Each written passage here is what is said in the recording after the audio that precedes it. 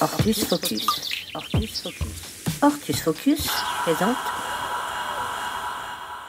Au Mans, rencontre avec une race de poules qui cumule références gastronomiques et littéraires depuis cinq siècles.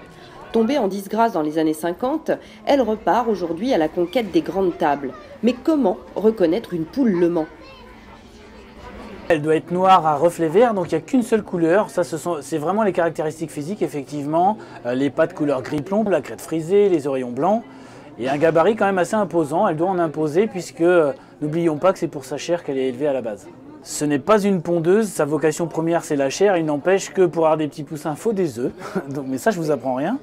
Et là, pour le coup, euh, on va quand même lui attribuer une bonne centaine de l'année, mais euh, effectivement, les, pondeuses nouvelle génération euh, sont capables d'en produire deux à trois fois plus. On connaît cette poule sous différentes appellations chapon du Mans, poularde du Mans ou gélinote du Mans. La qualité de sa chair est exceptionnelle et elle dépend essentiellement de son alimentation. Elle va manger les vers de terre, les petites bestioles, les sauterelles qu'elle va trouver dans l'air parce qu'elle a accès à un parcours herbeux.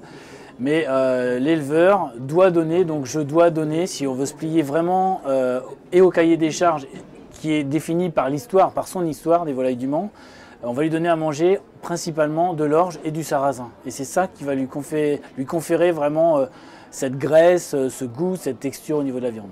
Et si on a la chance un jour de pouvoir en déguster une, comment faut-il donc la cuisiner?